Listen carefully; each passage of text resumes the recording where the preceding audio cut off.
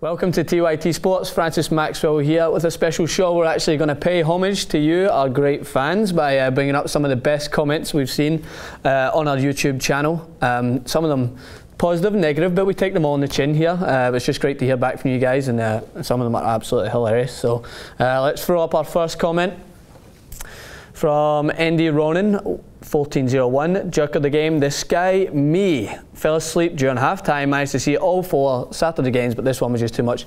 Buddy, I, I don't. There's no way I can't uh, like say that's wrong for you to do that. There, I mean, watching every game does get tiring, and when you do get those boring nil-nil games, uh, I totally relate to you on that. I mean, I think Jason had to wake me up uh, during one of the games out there watching it because uh, uh, but, uh, you think watching soccer all the time get, doesn't get boring, but some of the games like you just want to either get out there and assist them by doing something to make the game somewhat alive, or you just want to go for a nap. So uh, I feel for you on that one. Next comment, Jason uh, Magana.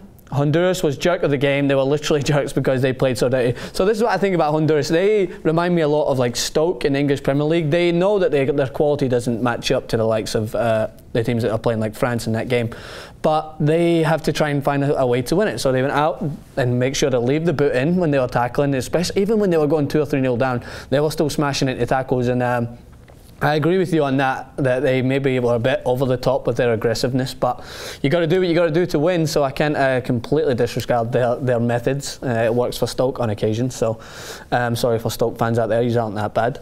Uh, let's move on to the next comment. Pound underscore cake one. Can you do an all-female panel on the best-looking players at the World Cup for TYT Sports? We were actually talking about this. This would be a great thing to do. I think uh, I would even it, uh, chime in on this. I'm like uh, I'm comfortable with my sexuality. I don't mind saying what guys out there are good-looking. I mean, we all know about my man crush on Pirlo. Great beard, amazing hair. Should win the, for the best-looking guy at the competition, but there is the likes of Ronaldo and them who come in there. Jason also has a lot of fans that he likes in the in this tournament. Balotelli, be your man. Absolutely, Balotelli. Okay, from, is that, would I say Jamie? Is that Jamie's or Jamie's? All right, thanks. Franz Kiss, or maybe you'd prefer Frank Kiss. Pronouncing someone's name is correctly, uh, pronouncing someone's name correctly is so silly, right?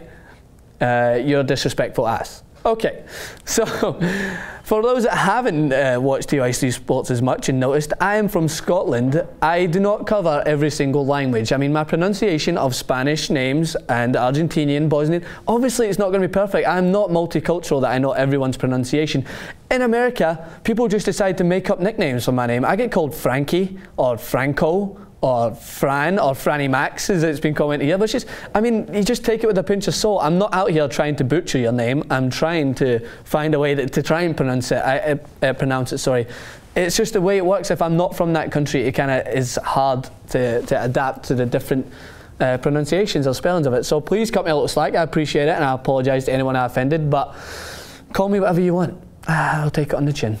All right, next comment. Packers 3245, L1 triangle all day. Everyone that plays FIFA laugh when he said that because it's effing deadly. I'm trying to watch my language for my mum watching. So, um, L1 Triangle is, is I hate to keep referring to Jason, Jason, but he's my only friend in TYT. Everyone else doesn't really like me. So, Jason, we actually play FIFA, and I must use L1 Triangle every three minutes. It's the best move, especially when you've got a player who can like play passes like that. Cavani in that game of Uruguay, it was a beautiful pass. L1 triangle all day. So I'll keep using FIFA references as long as you guys keep responding to them. Uh, yeah, and also uh, to oh, address to address the um, uh, FIFA fans for TYT Esports, which came from a comment also. That name we're probably going to use because it's great.